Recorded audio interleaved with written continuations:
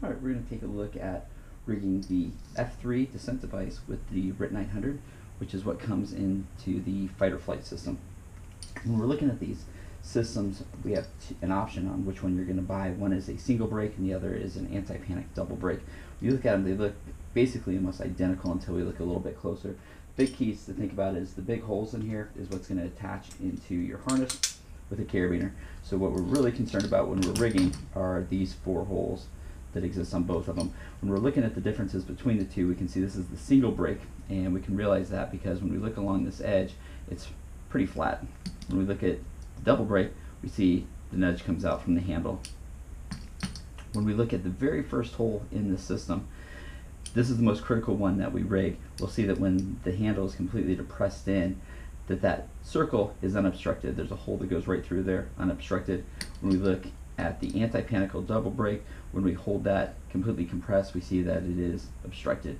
And that's what causes the double brake system so we can let go of it and it blocks us. And then if we squeeze in too hard, then it also will slow us down to kind of a snail's uh, pace depending on your weight and morphology of the rope or will actually stop you. So for our purposes, we're going to rig them identical.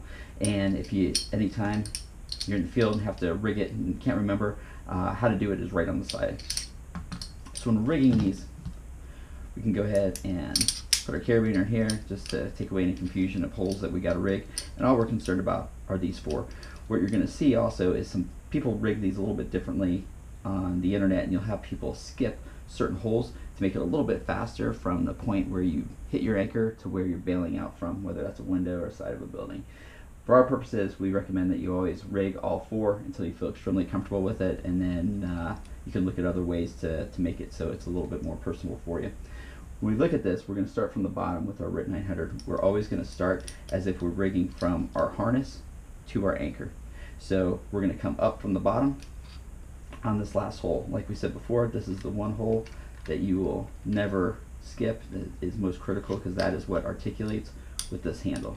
So as we come up from here, we then turn around and go straight down this next hole.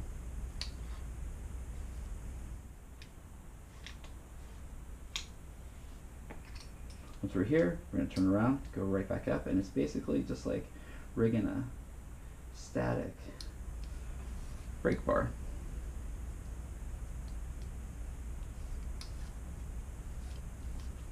And that's all there is to it for both of them. So as we rig this, this is going to be our anchor. This is where the end of the rope knot's going to be. And this is how it fits in there.